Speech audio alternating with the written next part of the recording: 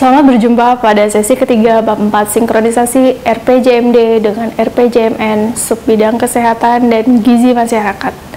Bapak dan Ibu peserta pelatihan, sesi ketiga kali ini kita akan belajar mengenai cara sinkronisasi misi atau submisi, tujuan, sasaran, dan indikator pembangunan kesehatan. Sebelum mensinkronkannya, ada beberapa hal yang perlu Bapak Ibu pahami terlebih dahulu.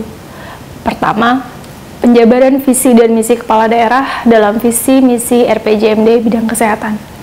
Berikut contoh penerjemahan visi dan misinya. Visi dan misi RPJMD yang terjemahkan mengacu pada visi misi kepala daerah dan visi misi RPJMN. Yang kedua, keterkaitan antara tujuan dan misi.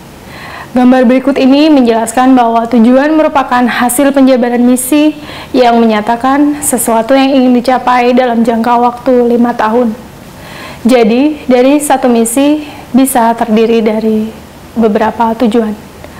Berikut ini contoh dari penjabaran misi ke dalam tujuan RPJMN dan tujuan RPJMD bidang kesehatan. Nah, sekarang kita masuk pada sinkronisasi misi atau submisi, tujuan, sasaran, dan indikator pembangunan. Bapak dan Ibu dapat memanfaatkan tabel berikut ini. Perhatikanlah tabel berikut ini. Tabel ini terdiri dari tiga bagian. Bagian pertama adalah RPJMN yang terdiri dari tiga kolom. Kolom pertama berisi mengenai tujuan. Tujuan ini merupakan hasil penerjemahan atau penjabaran dari misi RPJMN. Kolom kedua berisi mengenai sasaran pokok dalam RPJMN. Kolom ketiga berisi mengenai indikator untuk mencapai sasaran tersebut. Pada bagian kedua yaitu bagian RPJMD Provinsi.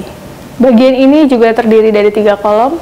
Kolom yang pertama berisi mengenai tujuan. Tujuan ini diisi berdasarkan hasil penjabaran misi RPJMD Provinsi.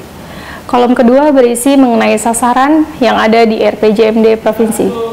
Kolom ketiga berisi mengenai indikator yang harus dicapai dan tujuan, serta sasaran yang telah ditentukan sebelumnya.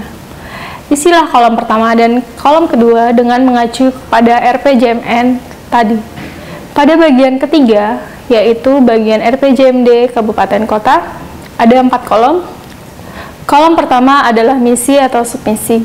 Pada kolom ini, Bapak Ibu dapat mengisinya dengan misi submisi RPJMD yang telah disesuaikan dengan misi kepala daerah.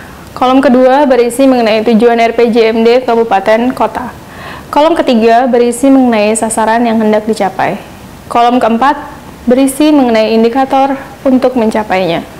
Isilah kolom tersebut dengan mengacu dan menyesuaikan dengan RPJMN dan RPJMD Provinsi tempat Bapak Ibu.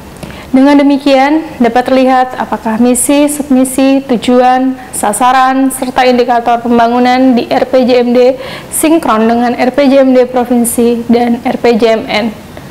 Demikianlah paparan materi pada sesi ini. Untuk lebih lengkapnya, Bapak Ibu dapat mendownload materi dan tugas-tugas yang telah diberikan dalam website ini dan mengerjakannya. Selamat berlatih.